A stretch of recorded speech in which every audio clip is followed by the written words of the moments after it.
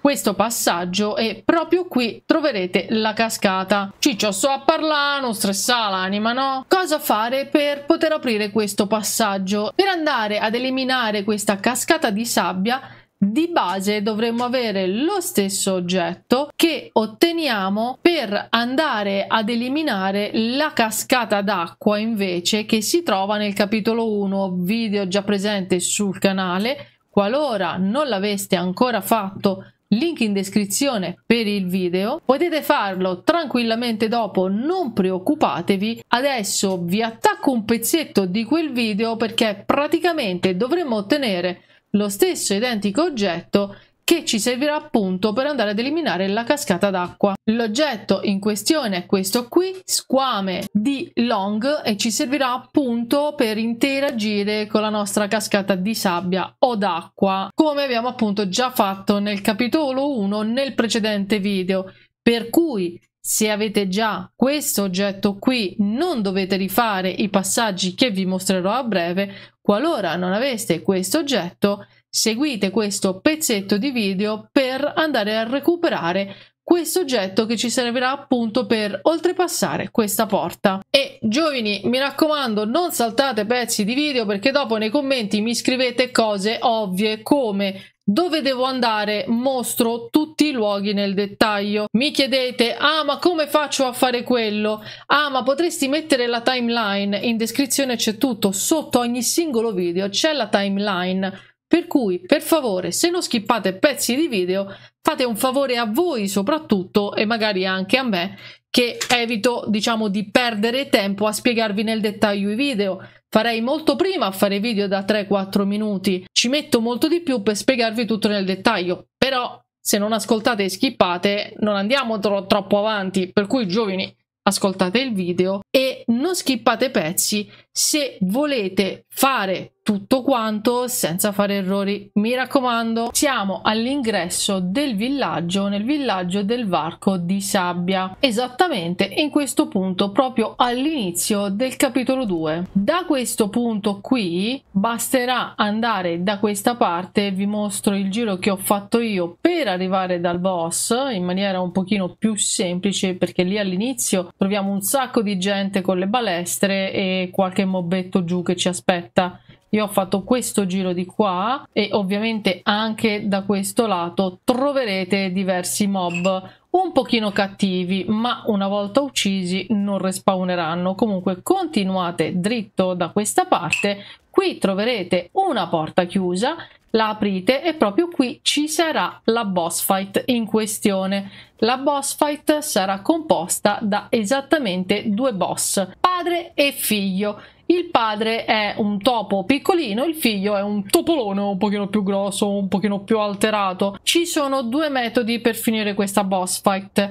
Se uccidete prima il boss grande, quindi il figlio, quello un pochino più corazzato, nella zona più avanti il padre vi farà spawnare il secondo figlio, quello che credo abbia mandato in esilio e che va a ripescare per farsi difendere da noi, dalla scimmia in questione. Se invece ucciderete prima il padre, il figlio durante questa boss fight diventerà un pochino più incazzoso, ma una volta abbattuto otterrete un pezzo di carne che potrete utilizzare per andare a triggerare questo secondo boss, quindi il figlio più grosso mandato tra virgolette in esilio. Ora vi mostro dove, quindi decidete un po' voi come completare questa boss fight se uccidete il figlio piuttosto che il padre durante la boss fight, secondo me è molto più semplice, ma vedete un po' voi. Detto questo, una volta effettuata questa boss fight, ci spostiamo da questo lato, proprio qui ci sarà un altare dove potete ovviamente riposarvi per riprendervi un attimo e da qui potete continuare da questa parte e proseguire praticamente dritto. Ora io questi nemici non li ho fatti fuori, ma scappo, corro via e proprio arrivati in questo punto se il padre lo avete lasciato vivo, lui triggererà, assisterete a questa cutscene e triggererà appunto il topolone più grande che non sto a mostrarvi per non farvi spoiler, perché so che vi dà un pochino fastidio vedere le cose, quindi evitiamo. Se invece, tacci tua, non avete ucciso il, uh, il, figlio ma avete ucciso prima il padre avete il pezzo di carne. Aspettate faccio fuori sto scassa umbrella. Da questo punto qui voi getterete questo pezzo di carne e verrà fuori questo topolone gigante.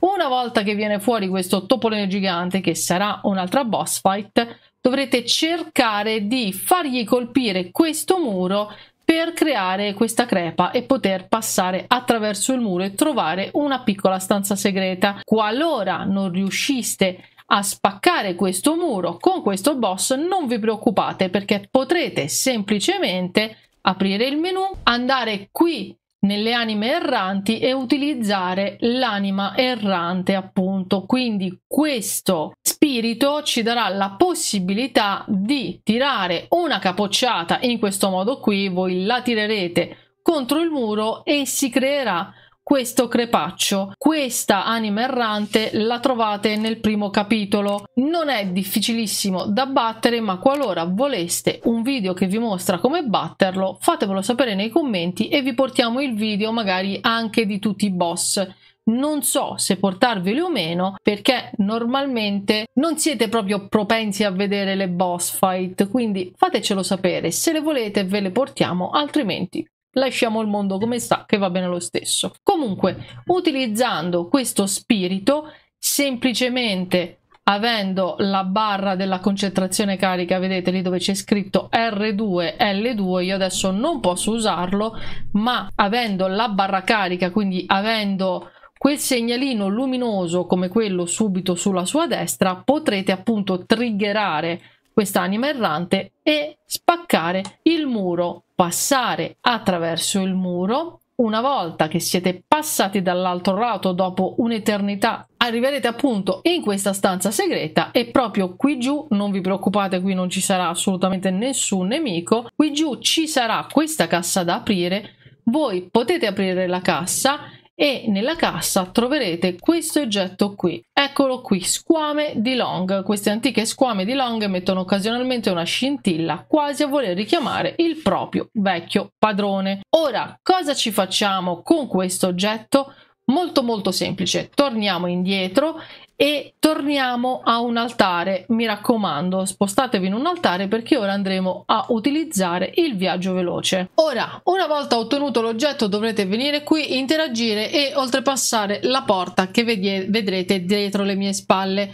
Ovviamente ci sarà un boss, il boss in questione è il Long Nero, è un boss, potrebbe essere un boss un pochino complesso, ma in realtà non lo è. Io credo di averlo fatto al primo try, massimo al secondo, ma credo proprio al primo try, e semplicemente le mosse più complicate, diciamo, da schivare sono due sostanzialmente. Una è quella in cui dei cerchi elettrici si allargano lungo tutta l'arena di gioco, lo vedrete a breve nella boss fight, lì basterà semplicemente schivare verso destra e verso sinistra per poter evitare di prendere danni. Non schivate in avanti perché non farete in tempo a schivare il prossimo cerchio, perché i cerchi che arriveranno saranno consecutivi. Per cui destra e sinistra schivate facendo proprio questo movimento. Destra, sinistra, così destra, sinistra, destra, sinistra. Dopodiché ci saranno dei momenti in cui lui sbatterà l'uno contro l'altro queste specie di nacchere giganti che utilizza per spaccarci la faccia sono elettriche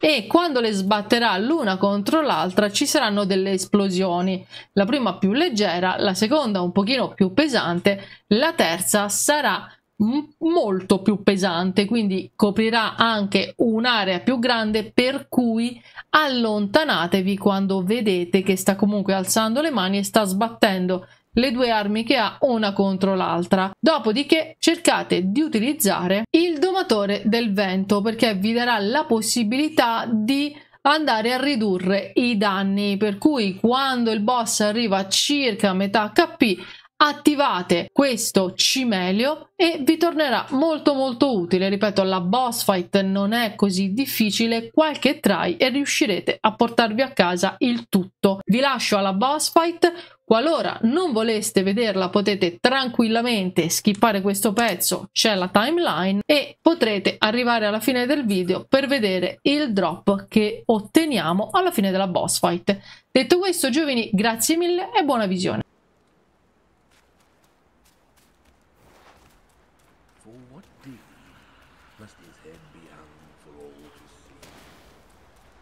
what deed must the waters they govern roam free? For what deed must all matter not known how to be? For what deed must mercy's hands so woe upon thee? For what deed must those fields and sands thou pity? Also, they their minds mind and victims.